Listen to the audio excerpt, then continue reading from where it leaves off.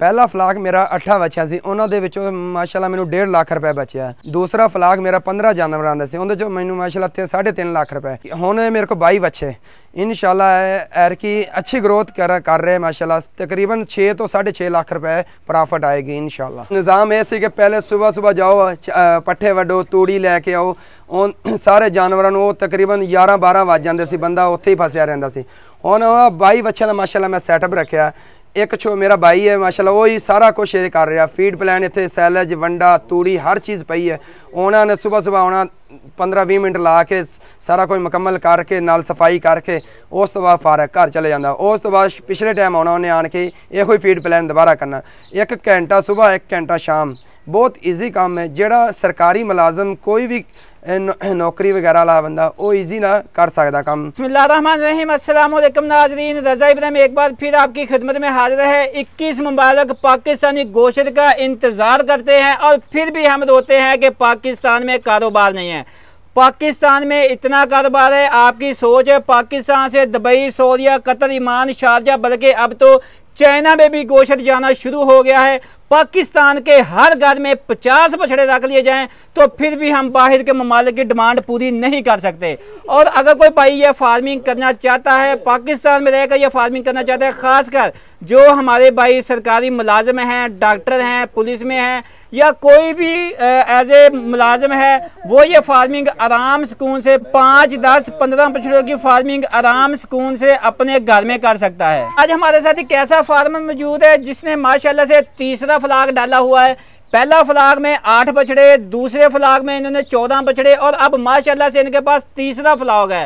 ان کے پاس بائیس بچڑے موجود ہیں۔ ان سے مکمل ڈیٹیل لیتے ہیں کہ آٹھ بچڑوں سے بائی بچڑوں تک इनका सफ़र कैसा रहा शुरू में जो परेशानियां थी वो क्या थी और अब इनको जो आसानियां हैं वो क्या हैं अस्सलाम वालेकुम जी ਵਾਲੇਕਮ ਅਸਲਾਮ ਪਿਆਰੇ ਬਾਈ ਕੀ ਹਾਲ ਚਾਲ ਹੈ ਸ਼ੁਕਰ ਹੈ ਅੱਲਾ ਦਾ ਠੀਕ ਸਭ ਤੋਂ ਪਹਿਲੇ ਮੇਰੇ ਵੇਖਣ ਵਾਲੇ ਨੂੰ ਆਪਣਾ ਨਾਮ ਦੱਸੋ ਤੇ ਇਹ ਦੱਸੋ ਕਿ ਇਸ ਫਾਰਮਿੰਗ ਦੇ ਵਿੱਚ ਆਉਣ ਦੀ ਵਜ੍ਹਾ ਕੀ ਸੀ ਕੀ ਸੋਚਿਆ ਆਈਡੀਆ ਕਿੱਥੋਂ ਆਇਆ ਇਸ ਤੋਂ ਇਲਾਵਾ ਕੀ ਕਰਦੇ ਜੇ ਮੇਰਾ ਨਾਮ ਹਸਨੈਨ ਅਲੀ ਹੈ ਮੈਂ ਪਾਕ ਪਤਨ 32 ਐਸਪੀ ਤਾਬਰ ਦੇ ਵਿੱਚ ਰਹਿ ਰਿਹਾ ਇਸ ਫਾਰਮਿੰਗ ਦੇ ਵਿੱਚ ਆਉਣ ਦੀ ਵਜ੍ਹਾ ਇਹ ਸੀ ਤੇ ਮੈਂ 7 ਸਾਲ 8 ਸਾਲ ਹੋ ਗਏ ਬਾਹਰ ਡਿਊਟੀ ਕਰ ਰਿਹਾ। ਜੀ। ਬਾਹਰ ਰਹਿ ਕੇ ਨਾ ਬੰਦਾ 8 ਸਾਲ ਉਹਨਾਂ ਦੀ ਗੁਲਾਮੀ ਨੌਕਰੀ ਗੁਲਾਮੀ ਵਾਲੀ ਚੀਜ਼ ਹੁੰਦੀ।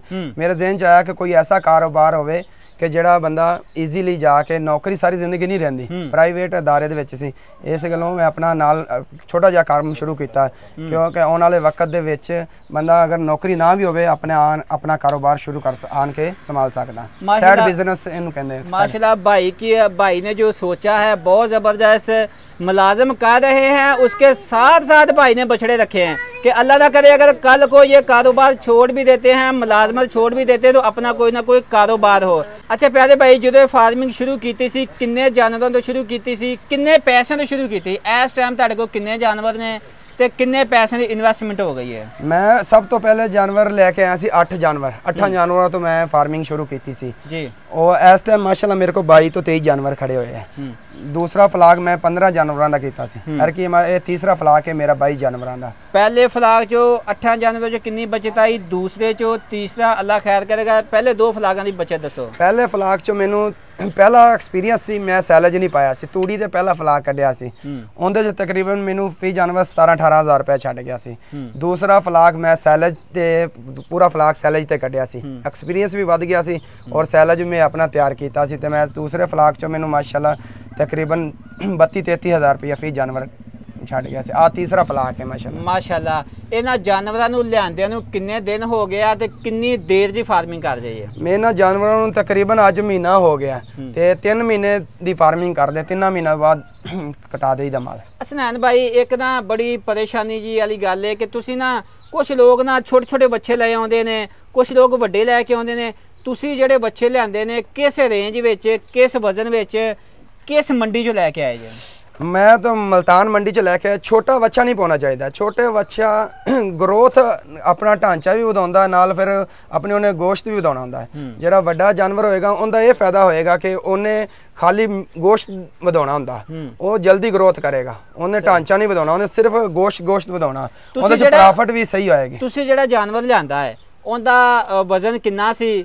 ਉਸ ਤੋਂ ਬਾਅਦ ਕਿੰਨੇ ਪੈਸਿਆਂ ਦਾ ਖਰੀਦ ਕੇ ਲਿਆਂਦਾ? ਜਿਹੜਾ ਮੈਂ ਜਾਨਵਰ ਲੈ ਕੇ ਆਇਆ ਇਹਦਾ ਤਕਰੀਬਨ ਲਾਈਫ weight 200 180 200 ਦੇ ਦਰਮਿਆਨ ਹੈ।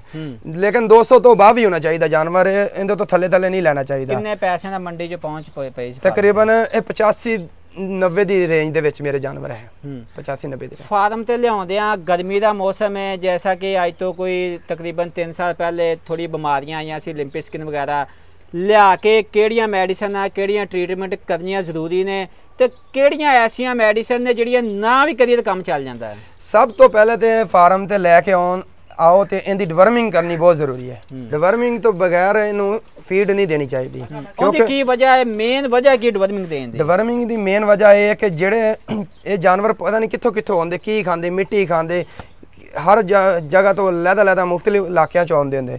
ਡਿਵਰਮਿੰਗ ਦੀ ਇਹ ਵਜ੍ਹਾ ਹੁੰਦੀ ਹੈ ਕਿ ਇਹ ਪੇਟ ਦੇ ਵਿੱਚ ਕੀੜੇ ਵਗੈਰਾ ਜਿੰਨੇ ਵੀ ਆਉਂਦੇ ਨਾ ਇਹ ਸਾਰੇ ਡਿਵਰਮਿੰਗ ਦਾ ਕੰਮ ਇੱਕ ਪੇਟ ਬਿਲਕੁਲ ਸਾਫ਼ ਕਰ ਦੇਣਾ। ਉਹ ਸਾਫ਼ ਹੋ ਜਾਏਗਾ ਉਸ ਤੋਂ ਬਾਅਦ ਤੁਸੀਂ ਫੀਡ ਪਾਓਗੇ ਉਹ ਫੀਡ ਨਾਲ ਤੁਹਾਡੀ ਕਿ ਨਾ ਫੀਡ ਦੇ ਨਾਲ ਗਰੋਥ ਸਹੀ ਕਰੇਗਾ। ਉਹ ਡਾਇਰੈਕਟ ਅਸਰ ਕਰੇਗਾ ਜਾਨਵਰ ਤੇ ਫੀਡ ਅਸਰ ਕਰੇਗੀ ਔਰ ਗਰੋਥ ਸਹੀ ਕਰੇਗੀ। ਨਹੀਂ ਤੇ ਉਹ ਤੁਹਾਨੂੰ ਇਹ ਕੀੜਿਆਂ ਨੂੰ ਖੁਰਾਕ ਲੱਗਦੀ ਰਹੇਗੀ ਜਾਨਵਰ ਨੂੰ ਨਹੀਂ ਲੱਗੇਗੀ। ਅਸਨੈਨ ਭਾਈ ਫਾਰਮ ਦੀ ਜਗ੍ਹਾ ਕਿੰਨੀ ਹੈ ਵਿੱਚ ਬੱਚੇ ਕਿੰਨੇ ਪਾਏ ਨੇ? ਇਹ ਇੱਕ ਬੱਚੇ ਵਾਸਤੇ ਕਿੰਨੀ ਜਗ੍ਹਾ ਹੋਣੀ ਚਾਹੀਦੀ? ਮੈਨੂੰ ਤੇ ਇੰਜ ਲੱਗਦਾ ਕਿ ਜਿਵੇਂ ਤੁਹਾਡਾ ਵਾੜਾ ਛੋਟਾ ਤੇ ਜਾਨਵਰ ਤੁਸੀਂ ਜਾਨਵਰ ਤੇ ਜਾਨਵਰ ਚਾੜੇ ਹੋਇਆ ਇਹ ਜਗ੍ਹਾ ਸਾਡੀ 6 ਮਰਲੇ ਜਗ੍ਹਾ ਘੱਟ ਹੈ। ਬਾਈਆਂ ਬੱਚਿਆਂ ਵਾਸਤੇ ਘੱਟ ਤੋਂ ਘੱਟ ਸਾਡੇ ਕੋਲ 10 ਮਰਲੇ 8-10 ਮਰਲੇ ਜਗ੍ਹਾ ਹੋਣੀ ਚਾਹੀਦੀ ਇਹ 6 ਮਰਲੇ ਤਕਰੀਬਨ ਇਹ ਸਹੀ ਤਰ੍ਹਾਂ ਈਜ਼ੀ ਹੋ ਕੇ ਖਾ ਨਹੀਂ ਸਕਦੇ। ਜਗ੍ਹਾ ਘੱਟ ਹੈ। ਅਸਨੈਨ ਭਾਈ ਬਹੁਤ ਸਾਰੇ ਭਾਈ ਨੇ ਕਮੈਂਟ ਕਰਦੇ ਨੇ ਤੇ ਪਰੇਸ਼ਾਨ ਕਰਦੇ ਨੇ। ਕਿ ਇਹ ਜਿਹੜਾ ਕਾਰੋਬਾਰ ਹੈ ਨਾ ਇਹ ਬੰਦ ਹੋ ਜਾਣਾ ਹੈ। ਹਰ ਬੰਦਾ ਇਸ ਕਾਰੋਬਾਰ ਤੇ ਲੱਗ ਗਿਆ। ਆਇਆ ਕਿ ਤੁਸੀਂ ਫਾਰਮ ਬਣਾਇਆ ਹੈ ਤੀਸਰਾ ਫਲਾਗ ਹੈ। ਕੁਝ ਲੋਕ ਐਸੇ ਆ ਨੇ 10 10 12 12 15 15 20 20 ਸਾਲ ਤੋਂ ਕੰਮ ਕਰ ਰਹੇ ਨੇ। ਤੁਸੀਂ ਨਵੇਂ ਬੰਦੇ ਜੇ ਨਵਾਂ ਕੰਮ ਸ਼ੁਰੂ ਕੀਤਾ ਤੁਹਾਡਾ ਕੀ ਆਈਡੀਆ ਹੈ? ਆਉਣ ਵਾਲੇ ਵਕਤ ਦੇ ਵਿੱਚ ਇਹਦਾ ਫਿਊਚਰ ਕੈਸਾ ਹੈ? ਆਇਆ ਕਿ ਕੰਮ ਬੰਦ ਤੇ ਨਹੀਂ ਹੋ ਜਾਏਗਾ? ਅਲੀ ਭਾਈ ਅਗਰ ਪਾਕਿਸਤਾਨ ਦੇ ਵਿੱਚ ਹਰ ਘਰ ਫਾਰਮਿੰਗ ਸ਼ੁਰੂ ਕਰ ਲੈਣਾ। ਫਿਰ ਵੀ ਇਹ ਕੰਮ ਸਾਡਾ ਫਲॉप ਨਹੀਂ ਹੋਣਾ। ਕਿਉਂਕਿ ਸਾਡੇ ਕੋਲ ਜਿਹੜੀ ਮੀਟ ਨਾ ਬਾਹਰਲੇ ਮੁਲਕਾਂ ਚ ਆਉਂਦਾ ਪੂਰੀ ਨਹੀਂ ਹੋ ਰਹੀ Demand ਪੂਰੀ ਡਿਮਾਂਡ ਨਹੀਂ ਪੂਰੀ ਹੋਈ। ਸਾਡੇ ਮੁਲਕਾਂ 'ਚ ਹਰ ਪਾਕਿਸਤਾਨ ਦੇ ਵਿੱਚ ਹਰ ਘਰ ਵੀ ਅਗਰ ਫਾਰਮਿੰਗ ਸ਼ੁਰੂ ਕਰੇਗਾ ਨਾ ਫਿਰ ਵੀ ਇਹ ਕੰਮ ਫਲਾਪ ਨਹੀਂ ਹੋਏਗਾ। ਕਿਉਂਕਿ। ਇਹਦੀ ਸਾਡੇ ਕੋਲ ਨਾ ਬਾਹਰ ਐਵਰੇਜ ਪੂਰੀ ਨਹੀਂ ਹੋ ਰਹੀ ਗੋਸ਼ਤ ਦੀ ਨਾ ਪੂਰੀ ਨਹੀਂ ਹੋ ਰਹੀ। ਕੀ ਬਾਤ ਹੈ। ਅੱਛਾ ਜਦੋਂ ਤੁਸੀਂ ਇਹਨਾਂ ਨੂੰ ਫੀਡ ਪਲਾਨ ਕਰ ਰਹੇ ਜੇ ਵੰਡਾ ਸੈਲੇ ਤੂੜੀ ਕੀ ਕੀ ਪਾ ਰਹੇ ਜੇ ਕਿੰਨਾ ਕਿੰਨਾ ਪਾ ਰਹੇ ਜੇ? ਅਸੀਂ ਇਹਨਾਂ ਨੂੰ ਸੈਲਜ ਵੰਡਾ ਤੂੜੀ। ਉਹ ਤਿੰਨ ਚੀਜ਼ਾਂ ਇਸਤੇਮਾਲ ਕਰਦੇ ਪਏ। ਪਹਿਲੇ ਮਹੀਨੇ ਅਸੀਂ ਤਕਰੀਬਨ ਵੰਡਾ 1.5 ਕਿਲੋ ਕਰ ਰਹੇ ਹੂੰ। ਉਸ ਤੋਂ ਬਾਅਦ ਦੂਸਰੇ ਮਹੀਨੇ ਨੂੰ ਅਸੀਂ 2.5 ਕਿਲੋ ਤੱਕ ਲੈ ਜਾਈਦਾ। ਤੀਸਰੇ ਮਹੀਨੇ ਤੱਕ 3 4 ਕਿਲੋ 4.5 ਕਿਲੋ ਦੀ ਐਵਰੇਜ ਹੈ ਸਾਡੇ ਐਂਡ ਵਾਲੇ ਮਹੀਨੇ। ਐਂਡ ਵਾਲੇ ਅੱਛਾ ਮਹੀਨੇ ਜਿਵੇਂ ਕਿ ਵੰਡੇ ਦੀ ਮਕਦਾਰ ਵੱਧਦੀ ਜਾਂਦੀ ਏ ਸੈਲੇਜ ਦੀ ਘਟਦੀ ਏ ਸੈਲੇਜ ਉਹਨਾਂ ਹੀ ਪਾਉਂਦੇ ਜੇ। ਸੈਲਜ ਦੀ ਮਕਦਾਰ ਜਿੰਨਾ ਜਾਨਵਰ ਖਾ ਲੇ ਤਕਰੀਬਨ 10 ਕਿਲੋ ਤੋਂ ਲੈ ਕੇ 15 ਕਿਲੋ ਤੱਕ ਫੀ ਜਾਨਵਰ ਖਾਂਦਾ ਹੈ। ਛੋਟਾ ਵੱਡਾ ਜਾਨਵਰ, ਉਸ ਹਿਸਾਬ ਨਾਲ ਜਾਨਵਰ ਸੈਲਜ ਦੀ ਐਵਰੇਜ ਹੁੰਦੀ ਤੂੜੀ ਦੀ ਕੀ ਰੁਟੀਨ ਹੈ? ਕੁਝ ਲੋਕ ਨੇ, ਉਹਨਾਂ ਨੇ ਤੂੜੀ ਨਾਲ ਖੁਰਲੀਆਂ ਭਰੀਆਂ ਹੁੰਦੀਆਂ ਨੇ।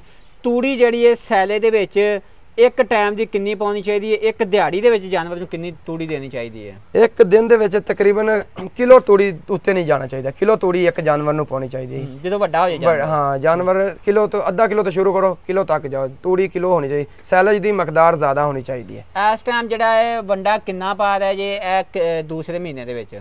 ਇਹ ਤਕਰੀਬਨ ਮੈਂ ਇਸ ਟਾਈਮ 2.5 ਕਿਲੋ ਜਾਨਵਰਾਂ ਨੂੰ ਪਾ ਰਿਹਾ ਫੀ ਫੀ ਜਾਨਵਰ ਜਾਨਵਰ 2.5 ਕਿਲੋ। 2.5 ਕਿਲੋ। ਅੱਛਾ ਇਹਦਾ ਮੀਟ weight ਦਾ ਕੀ ਹਿਸਾਬ ਹੈ ਇਹ ਡੇਲੀ ਦਾ ਜਦੋਂ ਬੱਚਾ ਲੈ ਕੇ ਫਾਰਮ ਤੇ ਲਿਆ ਕੇ ਛੱਡ ਦੇਈਦਾ ਇਹ ਉਸੇ ਦਿਨ ਹੀ ਗੋਸ਼ਤ ਵਧਾਉਣਾ ਸ਼ੁਰੂ ਕਰ ਦਿੰਦਾ ਹੈ ਜਾਂ ਕਿੰਨੇ ਦਿਨਾਂ ਬਾਅਦ ਵਧਾਉਂਦਾ ਤੇ ਕਿੰਨਾ ਕਿੰਨਾ ਗੋਸ਼ਤ ਵਧਾਉਂਦਾ ਹੈ ਇਹ ਤਕਰੀਬਨ ਪਹਿਲੇ 10 15 ਦਿਨ ਇਹਦੇ ਨਾਲ ਆਪਣਾ ਇਹਦਾ ਸਿਸਟਮ ਸਹੀ ਹੁੰਦਾ ਹੈ ਮੈਡੀਸਨ ਦੇਈਦੀ ਹੈ। ਉਸ ਤੋਂ ਬਾਅਦ ਇਹ ਗਰੋਥ ਕਰਨਾ ਸ਼ੁਰੂ ਕਰਦਾ ਸਹੀ।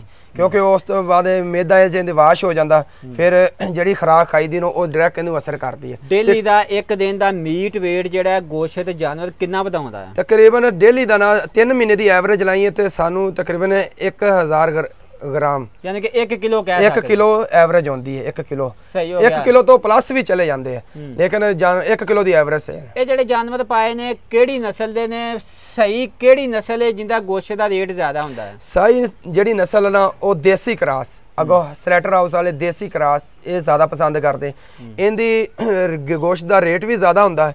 ਔਰ ਇਹ ਮਾਲ ਜਲਦੀ ਵੀ ਅਗੋ ਉਹਨਾਂ ਦੀ ਇਹ ਕਿਨਾ ਕਟਿਆ ਵੀ ਜਲਦੀ ਜਾਂਦਾ ਇਹਦੀ ਐਵਰੇਜ ਵੀ ਸਹੀ ਹੁੰਦੀ ਹੈ। ਕਿਹੜੀਆਂ ਫੈਕਟਰੀਆਂ ਨੇ ਕਿੱਥੇ ਫੈਕਟਰੀ ਨੇ ਜਿੱਥੇ ਤੁਸੀਂ ਮਾਲ ਸੇਲ ਕਰਦੇ ਜੇ? ਮੈਂ ਦੋ ਦਫਾ ਪਹਿਲੇ ਦੋ ਫਲਾਕ ਤੇ ਮੈਂ ਏਸ਼ੀਆ ਸਲੈਟਰ ਹਾਊਸ ਚ ਮਾਲ ਕਟਵਾ ਕੇ ਆਇਆ। ਪਿਆਰੇ ਬਾਈ ਇੱਕ ਛੋਟੀ ਜਿਹੀ ਗੱਲ ਟੋਕਣਾ ਹੈ ਨਵੇਂ ਬੰਦੇ ਸੀ ਪਹਿਲੀ ਦਫਾ ਫਾਰਮਿੰਗ ਕੀਤੀ ਸੀ ਸਲਾਟਰ ਹਾਊਸ ਦੇ ਪਹਿਲੀ ਦਫਾ ਮਾਲ ਕਟਵਾਇਆ ਸੀ। ਲੋਕ ਬੜੇ ਪਰੇਸ਼ਾਨ ਨੇ ਮਾਲ ਖਰੀਦ ਲਿਆ ਮਾਲ ਪਾਲ ਲਿਆ ਵੱਡਾ ਹੋ ਗਿਆ ਫੈਕਟਰੀ ਵੇਚਣ ਦੀ ਪਰੇਸ਼ਾਨੀ।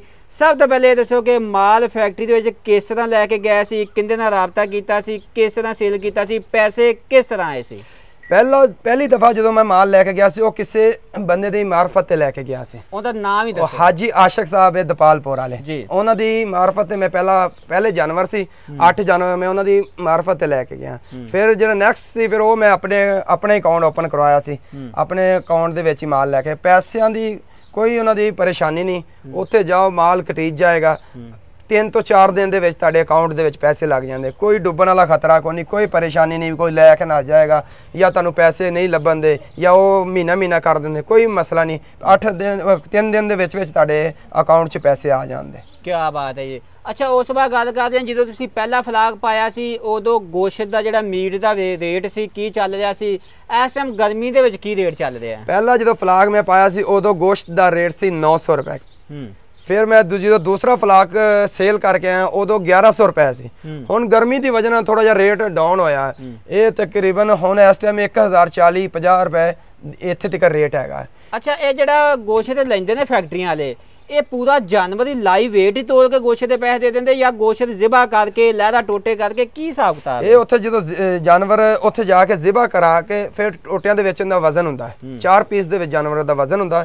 ਫਿਰ ਉਹਦੇ ਵਜ਼ਨ ਦੇ ਹਿਸਾਬ ਨਾਲ ਤੁਹਾਨੂੰ ਗੋਸ਼ਤ ਦੇ ਪੈਸੇ ਉਹਦੇ ਪੈਸੇ ਮਿਲਦੇ ਫੀ ਕਿਲੋ ਦੇ। ਸਾਡੇ ਇੱਥੇ ਸਲਾਖਤ ਦਾ ਬਹੁਤ ਰੇਟ ਚੱਲ ਰਿਹਾ ਸਲਾਖਤ ਦਾ ਤੁਹਾਨੂੰ ਕੀ ਮਿਲਦਾ? ਖੱਲ ਸਿਰੀ ਖਰੋੜੇ ਇਹਦਾ ਕੀ ਕਿੰਨੇ ਪੈਸੇ ਮਿਲਦੇ ਨੇ?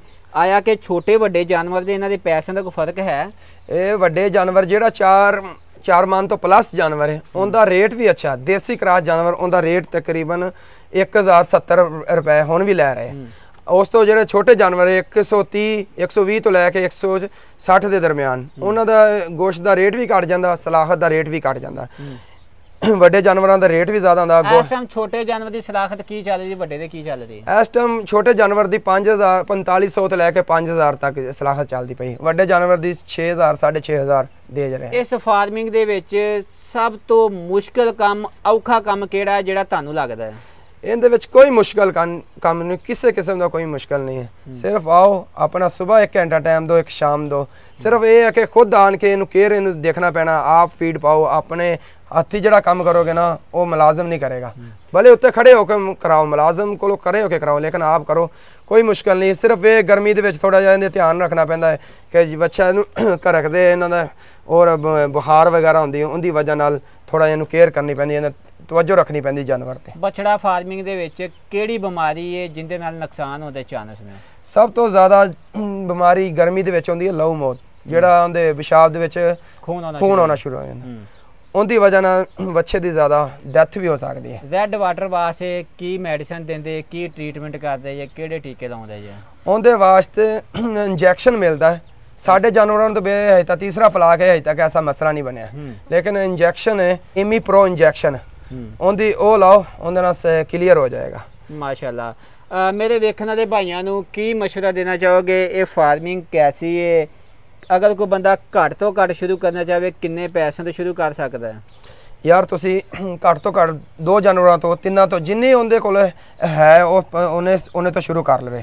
ਇਹ ਨਹੀਂ ਵੀ ਤੁਹਾਡੇ ਕੋਲ ਦੋ ਜਾਨਵਰਾਂ ਦੇ ਤੇ ਤੁਸੀਂ ਕਹੋ ਨਹੀਂ ਯਾਰ ਦੋ ਜਾਨਵਰ ਦੇ ਕੀ ਕਰਾਂਗੇ? ਪੈਸੇ ਦੋ ਜਾਨਵਰ ਵੀ ਲੈ ਸਕਦੇ ਲਓ। ਦੋ ਜਾਨਵਰ ਤੋਂ ਸ਼ੁਰੂ ਕਰੋ ਆਸਤਾ ਆਸਤਾ ਗਰੋਥ ਕਰੇਗਾ। ਇਹ ਕਾਰੋਬਾਰ ਐਸਾ ਕਿ ਇਹਦੇ ਵਿੱਚ ਅੱਗੇ ਵਧਣ ਦੇ ਚਾਂਸ ਹੈ ਘਟਣ ਦੇ ਚਾਂਸ ਨਹੀਂ ਹੈ। ਕੋਈ ਐਸਾ ਫਾਰਮਰ ਕੋਈ ਐਸਾ ਬੰਦਾ ਹੋਵੇ ਜਿਹਨੇ ਤੁਹਾਨੂੰ ਅੱਜ ਤੱਕ ਕਿਹਾ ਹੋਵੇ ਕਿ ਸਾਨੂੰ ਬਛੜਾ ਫਾਰਮਿੰਗ ਦੇ ਵਿੱਚੋਂ ਨੁਕਸਾਨ ਹੋ ਗਿਆ। ਮੈਨੂੰ ਤਕਰੀਬਨ ਸਾਲ ਹੋ ਗਿਆ। ਸਾਲ ਤੋਂ ਪਹਿਲਾਂ ਹੀ ਮੈਂ ਤਕਰੀਬਨ ਸੇ ਹਰ ਦੋ ਦੋ ਸਾਲ ਡੇਢ ਪਹਿਲਾਂ ਵੀ ਮੈਂ ਅਟੈਚਮੈਂਟ ਸੀ ਕੰਮ ਸ਼ੁਰੂ ਕਰਨ ਤੋਂ ਪਹਿਲਾਂ ਮੈਂ ਫਾਰਮਾ ਵਾਲਿਆਂ ਦੇ ਨਾਲ ਮੇਰੇ ਜਿਹੜੇ ਦੋਸਤ ਵਗੈਰਾ ਸੀ ਉਹਨਾਂ ਦੇ ਨਾਲ ਮੈਂ ਅਟੈਚ ਸੀ। ਨੁਕਸਾਨ ਹੁੰਦੇ ਤੇ ਇਹਦੇ 'ਚ ਬਹੁਤ ਘੱਟ ਚਾਂਸ ਹੈ। ਨੁਕਸਾਨ ਉਦੋਂ ਹੀ ਹੈ ਜਦੋਂ ਕੋਈ ਬੱਚਾ ਡੈਥ ਹੋ ਜਾਵੇ। ਉਹਦੀ ਵਜ੍ਹਾ ਨਾਲ ਨੁਕਸਾਨ ਹੈ। ਬੇਲ ਫਰਜ਼ ਕੋਈ ਨੁਕਸਾਨ ਨਹੀਂ ਹੈ। ਅਗਰ ਅੱਛਾ ਇਹਦਾ ਫੀਡ ਪਲਾਨ ਕੀਤਾ ਹੋਵੇ ਸੈਲਜ ਵੰਡਾ ਆਪਣਾ ਤਿਆਰ ਕੀਤਾ ਹੋਵੇ ਕੋਈ ਨੁਕਸਾਨ ਨਹੀਂ। ਫਿਰ ਉਹਦੀ ਪ੍ਰੋਫਿਟ ਦੀ ਰੇਸ਼ੋ ਵੱਧ ਜਾਏਗੀ। صحیح ہو گیا بہت شکریہ سنان بھائی تُسے اپنا قیمتی ٹائم دیتا جی تو ناظرین کیسی لگی آپ کو ہماری ویڈیو، اگر ویڈیو اچھی لگی تو لائک کمنٹ ضرور کریں۔ پھر ملیں گے ایک ایسی نئی ویڈیو میں۔ تب تک دیں اجازت، اللہ نے کے بعد